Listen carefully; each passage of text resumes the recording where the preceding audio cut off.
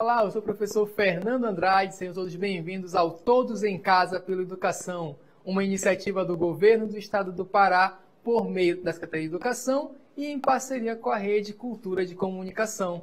Essas aulas são produzidas no Centro de Mídia do Estado, Sistema Educacional Interativo. O SEI leva a educação de qualidade do ensino regular mediado por tecnologia, atendendo centenas de alunos do interior do estado e o nosso programa sendo transmitido para 108 municípios através da TV Cultura. Tá? Você também pode assistir pelo portal Cultura no YouTube e na página do Facebook. E também tem a TV online né, no site www.portalcultura.com.br e se você quiser mais praticidade, tem também o um aplicativo do celular aí, que no caso é Cultura Rede de Comunicação, ok? Então, se você não baixou ainda, você pode baixar. Então, vamos lá para a nossa primeira aula de hoje. Objetivos específicos. Identificar e demonstrar através da tecnologia as linguagens artísticas, corporais, verbal e não verbal como integradora social. Sejam bem-vindos a continuidade da nossa aula de arte. Me chamo professora Silene e vou acompanhar vocês durante esse ano todinho aqui no primeiro ano. Bom, na aula anterior você relembrou as linguagens artísticas. A partir desse momento, te convido a refletir a sua convivência com elas na sua comunidade e vila ao interagir com nossos personagens. E para continuar a nossa aula, vamos à questão norteadora dela. Agora é com você. Seria possível utilizar a música, o teatro e a dança e as artes visuais para dizer algo? Como você acredita ser possível realizar essa comunicação na sua comunidade ou vila? Observe atentamente que existem aí duas propostas: o expressar e o comunicar. O expressar nas linguagens artísticas ele está relacionado ao dizer. Então, as artes, como vocês viram, na comunidade de vocês, ela vai dizer alguma coisa e também ela vai ser uma forma de você ser entendido. E agora que comece a aula de arte. Vamos lá!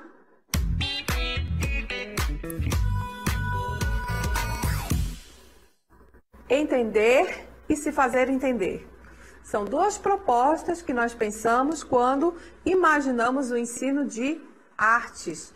E para entender a arte como um todo, né, você já relembrou lá na antiga aula, na aula que se passou, com o professor Helder, e que temos várias linguagens e elas são formas de dizer. E elas também são formas de se fazer entender, são formas comunicativas. E como você entende que isso acontece com relação à música. Vamos estudar nessa aula de forma bem mais profunda a relação que você possui com a música. Então eu convido você a participar da aula. Vamos lá, pegue seu caderno e vá anotando aqui algumas questões, né? E você vai, como são perguntas retóricas, ou seja, você necessariamente não vai respondê-las nesse momento, você é convidado a refletir sobre essas questões. Acompanhe comigo aqui na cartela. De que tipo de música você gosta? Faça duas listas. Então, nesse momento, entra a questão do gosto pessoal. A música que eu gosto é tal e tal música. A música que eu não gosto é tal e tal música. É interessante essa pergunta porque se eu fizesse a mesma pergunta a respeito é, de do time que você gosta, você com certeza só responderia um time. Você não faria uma lista com mais de, de um gosto musical. Você teria aí uma série de músicas que você gosta e uma série de músicas que você não gosta. Agora vamos para a nossa próxima questão. Que instrumentos você conhece? Então, dentro da nossa comunidade, a gente vai interagir, vai conhecer, vai ver e vai se relacionar com uma série de instrumentos. E aqui eles estão todos arrumados, né, para trazer essa ideia desse pensamento, para você começar a refletir quais instrumentos desses aqui que estão apresentados você conhece E quais instrumentos que você conhece que não estão nessa lista? Então, o convite é para você pensar né, em todas as formas que esse som ele vai dizer. Então ele diz através dos instrumentos musicais. O instrumento musical é o recurso utilizado para a expressão. Vamos seguir. Você ouve música? Essa pergunta é uma pergunta bem interessante porque é, todos nós ouvimos música, querendo ou não, né? Muitas vezes você passa na rua e você é atingido pela música, né? Querendo ou não, tem músicas que ficam na cabeça da gente porque a gente é obrigado a escutar. E outras músicas a gente escolhe escutar, a gente gosta de escutar, a gente seleciona dentro do repertório. Se sim, onde? E aí você começa a pensar que existe uma série de lugares onde você pode escutar música. Naquela relação anterior que eu falei, ela acontece dentro da sala de aula, fora da sala de aula, dentro de casa, fora de casa, em lugares específicos. Aonde você escuta música? Você escuta um ou mais tipos de música. Quais? E aqui eu tenho um conjunto de estilos, de gêneros, de formas musicais, né? Então, rock, o disco jazz, o chanson, balada, dancing, house, techno, eurodance, rap, pop, é, grunge e uma série de outros, né? O instrumental, new age, também temos também um outro jeito de escutar, que também é a música gospel. Então, vários gêneros, vários estilos musicais circundam essa nossa audição. Mas isso vai depender do que? Do que é música. Na sua opinião, o que é música? Para que serve a música? E aqui surge uma série de interrogações, porque eu comecei a perguntar para vocês é, o tipo de música que você gosta, que você não gosta, os tipos de instrumentos que você escuta, que você não escuta. Eu perguntei para você o tipo de instrumento que você conhece, que você não conhece. Então, até o momento, toda a questão norteadora desta aula está muito próxima da sua prática com a música. Então, nós temos já uma prática com a música, que é a prática do ouvir. E essa prática do ouvir é uma prática que está relacionada com a percepção auditiva. Mas o que é música? Das músicas que você até agora imaginou aí dentro do repertório que você gosta, você consegue imaginar que todas as pessoas da sala de aula gostam da mesma música que você? Que todas as pessoas da sua sala conhecem os mesmos tipos de instrumento? que todas as músicas que elas ouvem servem para alguma coisa?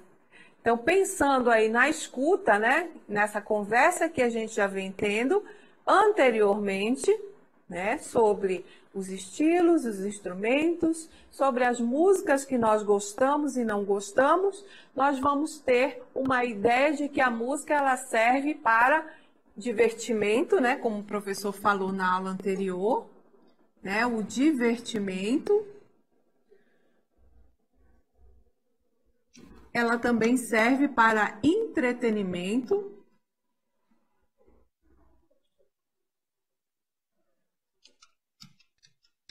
Que é uma outra forma, né? O entretenimento com E, não com I. Entretenimento, divertimento é geralmente, né, no mundo geral, a principal serventia da música hoje nos nossos tempos. Mas será que ela só serve realmente para divertimento, para entretenimento? Ela não tem uma outra função na vida? Ela tem. Ela também serve como profissão, né? A música, ela vai ser uma profissão em que a pessoa vai exercer o papel na sociedade de músico quando é homem e de musicista quando é mulher. Mas e se a pessoa gosta de música, tem um interesse que vai além do divertimento e do entretenimento, mas ela não deseja a música como profissão. Para muitas pessoas, a música também ela é projeto de vida. Por que projeto de vida?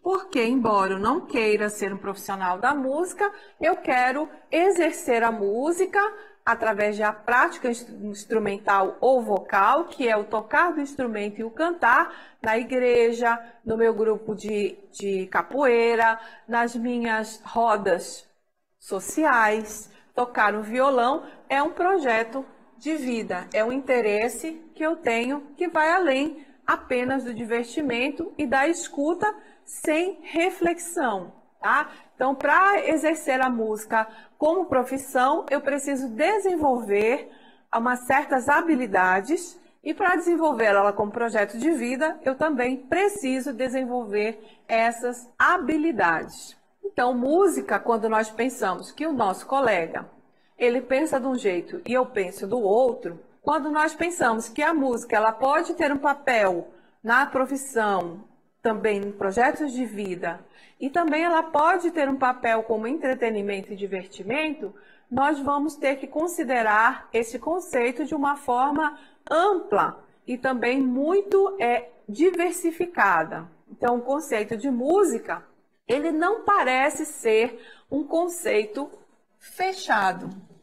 Ele é um conceito amplo, porque nós vimos né, que os gostos musicais eles são muito diferentes. Ele não é fechado. Ele vai ser diferente. Ele é um conceito amplo.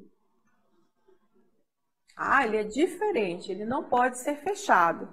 Então ele vai mudar ao longo da história e também ele vai ser tocado pela mudança é, histórica, né, do espaço, do tempo e também nas transformações tecnológicas, naquilo que o homem cria.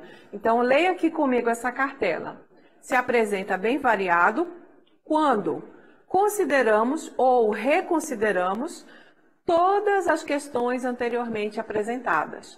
Podemos intuir, né? Intuição significa observar e chegar a uma conclusão que esse conceito ele parece ser bem amplo, por isso, ao dizer o que é música, precisamos considerar algumas questões.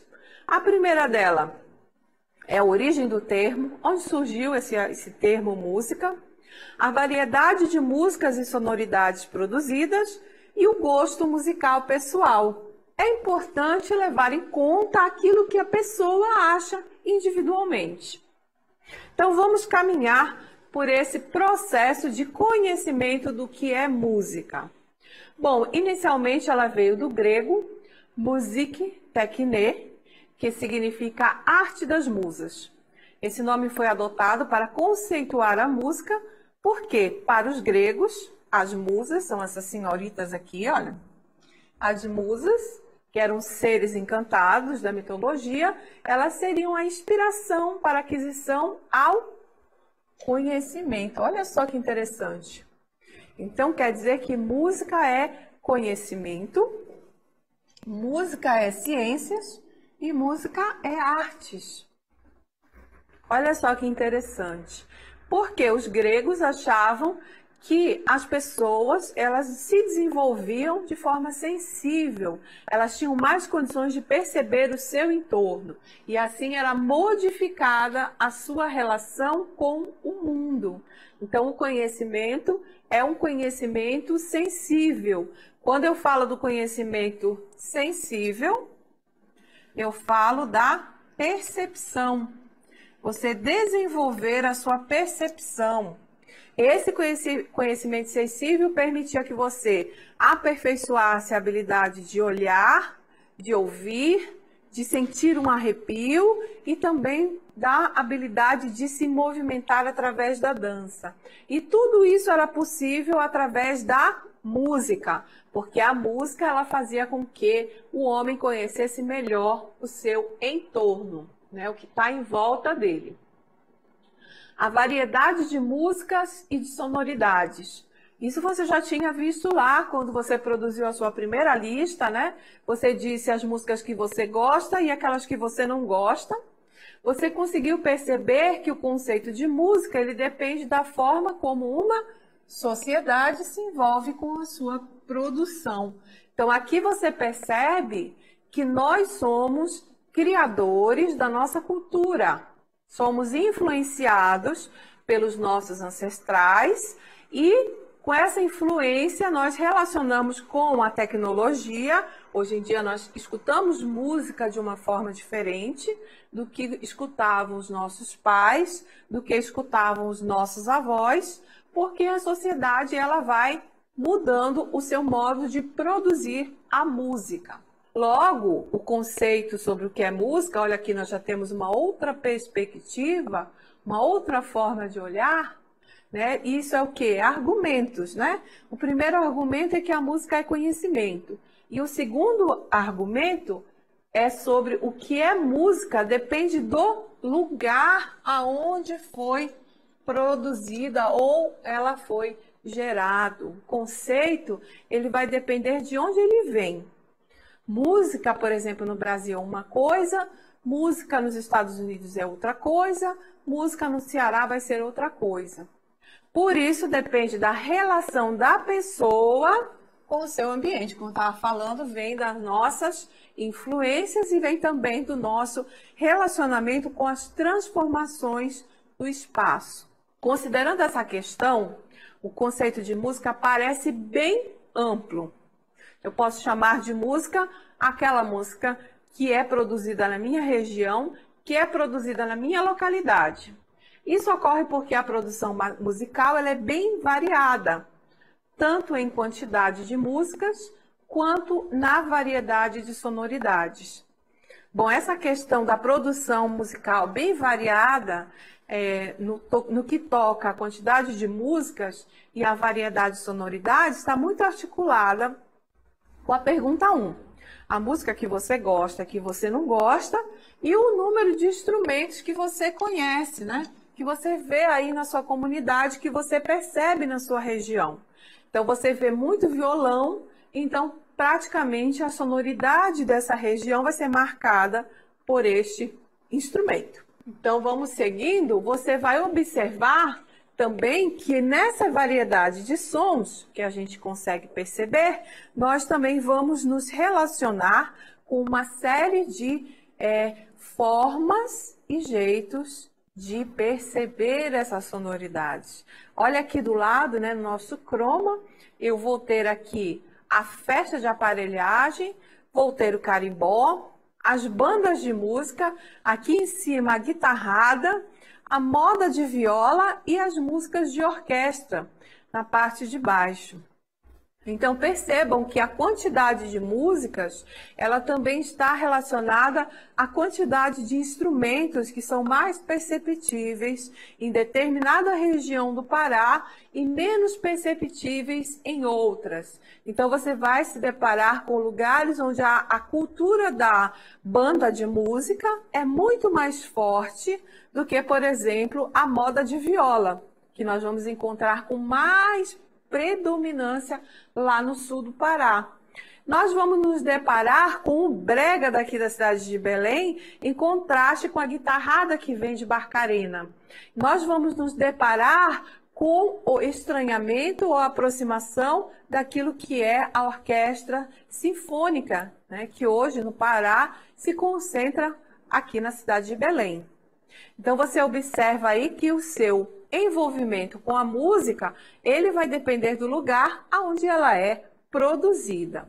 Agora vamos acompanhar aqui na nossa cartela e vamos ver o gosto musical pessoal. Bom, o gosto musical pessoal, ele também vai influenciar muito a aceitação do que é considerado música ou do que é considerado ruído. Então tem coisas que eu vou gostar que vai soar bem nos meus ouvidos e tem outras coisas que vão ser consideradas ruído, ou seja, um som que não é muito agradável. Disso, a experiência prévia como ouvinte ou como intérprete vai variar bastante o entendimento sobre o que é música. Então, a partir da minha, do afloramento da minha percepção, é que eu vou conseguir perceber né, essa diferença. Então, o gosto pessoal, ele tem muito essa relação com aquilo que você consegue perceber. Você conseguiria separar o que é ruído e o que é silêncio? Você conseguiria perceber o que é música e o que não é música? Você conseguiria diferenciar música e silêncio? Então, neste momento, eu vou convidar você para assistir um vídeo onde você vai poder perceber a presença do silêncio. Belíssimo vídeo, né? No final você percebe que o silêncio foi quase que impossível pelo autor, né? Diante disso, vamos pensar aqui, olhando a cartela, que relações você percebe entre a definição de música apresentada anteriormente, né, que nós vimos a música como conhecimento, como produção musical e como gosto pessoal, e como você é, faz essa relação com a música que você ouviu, em que tem dois elementos, o silêncio e o som. E eu te convido agora para uma experimentação em uma câmera anecoica. Então, antes disso, acompanhe comigo a próxima cartela. Quem falou sobre o silêncio, já na metade do século XX, foi o artista e músico John Cage. Então, ele pesquisou a possibilidade das pessoas fazerem realmente silêncio. E ele chegou à conclusão de que não existe silêncio como ausência total de sons, isto é, não existe o silêncio absoluto. Ouvimos pelo menos dois sons, um grave e um agudo, respectivamente, o sistema nervoso agudo e o sistema circulatório. E o silêncio, no caso, precisa ser analisado na relação de sons em cada contexto. Então, tomando essa base, eu convido você agora para vir para uma câmera anecoica, a prova de sons. Esse lugar aqui é um lugar que foi é, examinado pela NASA. Ele veio através de uma pesquisa de artes. Olha só como a arte é importante no estudo do silêncio. E neste momento eu vou fazer o mais profundo silêncio que eu puder para que a gente consiga constatar na câmara anecoica a possibilidade do silêncio absoluto.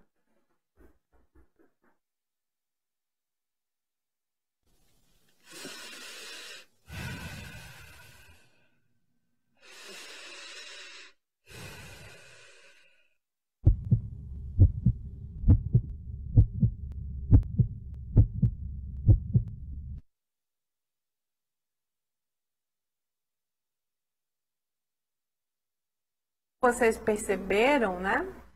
E o puderam ouvir, né? No momento em que a câmera foi totalmente fechada, foi possível escutar dois sons, o da respiração e o dos batimentos do coração. Dessa forma, o experimento de Cage, John Cage, músico do século XX, ele comprovou que não existe o silêncio absoluto. Olha aí que aula bacana, né? E é sempre bom você estar tá exercitando os conteúdos vistos aqui nas nossas aulas, tá? Para isso, a Secretaria de Estado de Educação disponibilizou no site da SEDUC, olha lá o site, www.seduc.pa.gov.br, a aba para casa, que são atividades que você pode resolver online, aí na sua casa mesmo, ok? Então daqui a pouquinho você vai lá e confira. E é sempre bom lembrar que você pode rever essa aula ou aulas anteriores aí através do portal Cultura no YouTube e também pelo aplicativo Cultura Rede de Comunicação.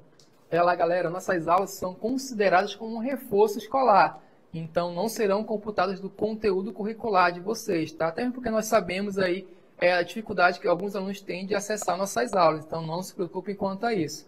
Outra questão é do nivelamento. Então, nossas aulas não tem esse nivelamento. Você que é do ensino fundamental, do ensino médio, ou que irá prestar o Enem esse ano, tá? Então, vocês podem assistir, no caso, à vontade, não tem problema nenhum. E é sempre bom para você que vai prestar o Exame Nacional do Ensino Médio esse ano, as nossas aulas são 70% do conteúdo dessa prova, ela é voltada para o ensino fundamental. Então, você pode assistir nossas aulas à vontade, ok? E a gente vai fazer agora um breve intervalo comercial, então não saia daí, daqui a pouco a gente volta.